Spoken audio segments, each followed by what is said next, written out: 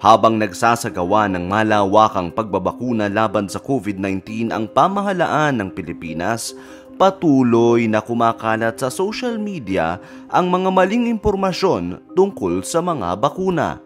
Maaari raw bang mamatay ang mga matatanda matapos mabakunahan? Maaari raw bang maging magnetic ang mga tao matapos mabakunahan? Yung totoo, Una, sinabi sa isang video na maaari raw mamatay ang mga matatanda dahil sa bakuna laban sa COVID-19.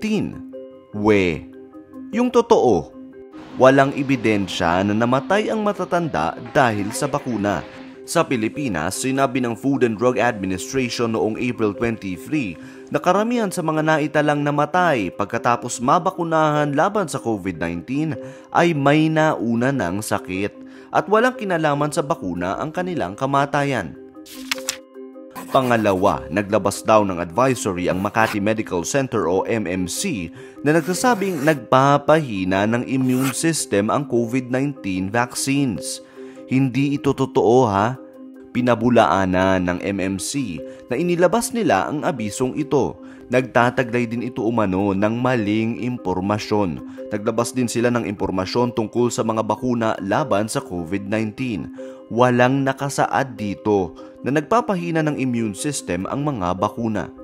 Ayon sa World Health Organization, sa United States Centers for Disease Control and Prevention at sa Department of Health, pinapalakas pa ng bakuna ang ating immune system.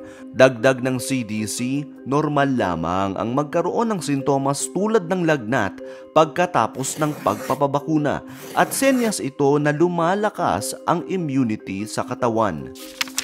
Pangatlo, merong haka-haka. Maaaring magdulot ng pagkabaog ang COVID-19 vaccines lalo na yung gumagamit ng mRNA dahil daw may proteinang tinatawag na syncytin-1 na umano'y kailangan sa pagbuo ng inunan. Kapareho raw ito ng spike protein ng SARS-CoV-2 na nilalabanan ng antibodies na dulot ng mRNA. Totoo ba ito? Hindi. Walang ebidensya na naaapektuhan ng bakuna laban sa COVID-19 ang kakayahang magbuntis. Magkaiba ang syncytin-1 at ang spike protein ng SARS-CoV-2. Ayon sa mga eksperto, maaaring magpabakuna ang mga taong may balak magbuntis. Pang-apat, may sabi-sabi ring nagiging magnetic daw ang mga taong nabakunahan na. Makikita raw ito kung lalagyan ng magnet ang itaas na braso pagkatapos mong mabakunahan. Kaibigan, wala itong katotohanan ha. Ang mga video na ito ay bahagi ng Magnet Test Challenge sa TikTok. Ayon sa mga eksperto, kahit may magnetic metal sa formulasyon ng mga bakuna, masyadong maliit ang dosis ng bakuna at hindi sapat ito para magdulot ng magnetic reaction. At panlima, may sabi-sabing hindi raw nasubok sa mga hayop ang mga bakunang ipinamahagi sa United States. Hindi totoo ito. Nang finact-check ito ng Rappler noong Mayo 2021, bawat bakunang binigyan ng US Food and Drug Administration ng Emergency Use Authorization ay dumaan sa animal testing.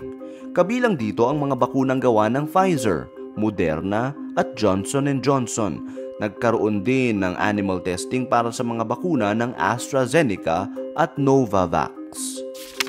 O kaya kaibigan ha, mag-ingat sa mga maling impormasyong madaling kumakalat sa social media tungkol sa mga bakuna.